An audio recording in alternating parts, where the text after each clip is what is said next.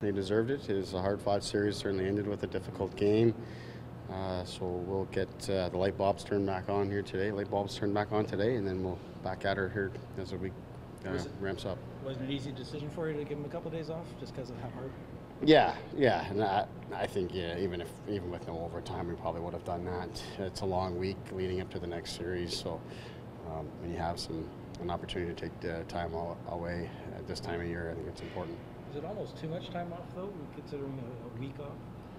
Um, Same for both teams. though. We'll see. Yeah, it is the same for both teams. Both end on the same day. So we'll, we'll see how, how it works out. Uh, I think when it comes from a preparation standpoint, uh, you like having time. You want to be prepared. You want to get everything in, uh, in order. So from a coaching perspective, time is nice, and I think the players themselves too, especially, you know, when, when the mental part of playing the, that long game. Um, they'll be grateful that they have the time. So, like I said, we'll we're gonna back going today. We'll we'll ramp it up as the week goes on. Do you encourage the guys to kind of not think about hockey, to take that time to just sort of reset themselves?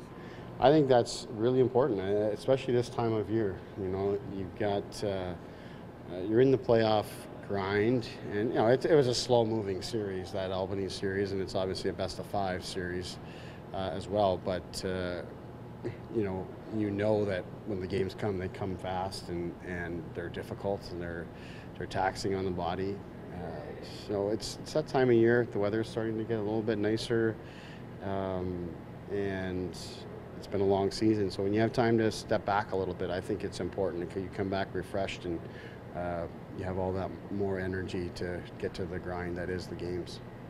The longer your team goes, the more eyes are on them, so to speak. How do you think they've reacted all through the season, and should it be any different right now? Well, I don't think it should be any different. Uh, I think the guys have responded well to all different situations through the season. I think, though, that it's important that they recognize that the longer you play, the more uh, the hockey world focuses on what you're doing. And we've got a lot of guys here that are trying to advance their career, be it uh, get a new contract or be get an opportunity in the NHL. So the less teams that are playing in hockey, the, the more more things uh, get focused on them, especially in this city. So uh, I think that their guys are in, in, a good place, and there's a lot of good reasons for these guys to continue to push and grind and um, and battle and meet each challenge as it comes. Opening on the road a good thing uh, when you look back to the experience of Albany and in the event that you're able to get a split down in a tough, tough building? Uh, we feel pretty good, uh, you know, about our ability to play on the road, and that certainly is important if you're going to have success, success in the playoffs. Um, yeah, if you have a chance, uh, the choice, you're, you're going to want to start at home every opportunity you get. But uh, we're not, so we'll make the best of this situation. And you know, we've our most recent time we were out in Syracuse, we played a real key two games there, back-to-back days uh, late in the season, and, and played well.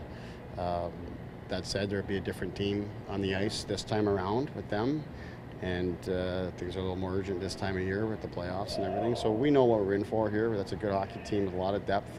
They're motivated and they're built to win this year. They feel like they're capable of doing that. So we'll be prepared. We'll get out there. We'll be up for the challenge, and we feel good about our game, and that's what we'll focus on most importantly. We look back on that game we played the other day uh, here to finish the series, and we played some great hockey there. So we'll be looking to duplicate that as much as we can here, uh, you know, with the new challenge. How did Cappy look today, and how worried were you when he got hurt in the last game? Uh, I didn't have much time to really think about Cappy during that during that game. Obviously, when you lose him, you know you don't want to lose anyone, but Cappy's a difference maker for us, and you know we didn't want to lose him from the game. But I think it was more precautionary than anything, doing what's right for Cappy as we should. Um, and uh, we're relieved to, to hear that uh, you know he got cleared on everything and he was feeling good and skated today. I talked to him after, said he feels like himself, so all appears to be real positive there. Rick was saying he feels like maybe he's playing some of his best hockey right now. Do you agree that he's sort of gotten to a next level or another level? I think I think there's there's times through uh, through each game where uh, Reichs, excuse me, shows what he's capable of doing, and he's a big, strong guy. Gets it on the forecheck. Um, when he's working and skating, he's really um, can be a, a difference maker. Um, and there's times when he gets away from that. So just finding a level of consistency is what we're striving for with Reichs. But through the um, through the season, I think he's come a long ways. Uh, really trying to find himself when he came here to a new organization, and um, you know, I don't think he was overly happy with how things finished up there for him uh, Uh, in the Columbus organization, and wanted to, to come here and find himself and find his